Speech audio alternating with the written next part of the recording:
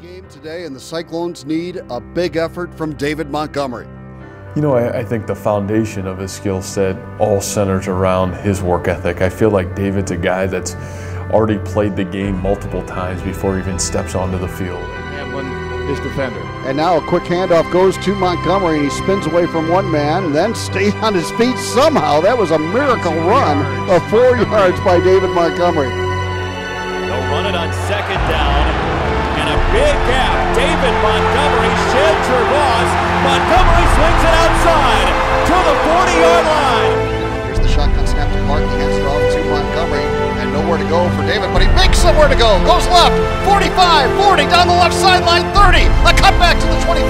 Three receivers left, one right. Little pitch play, left side. David Montgomery, a good cutback across the 40, stays on his feet, still across the 45,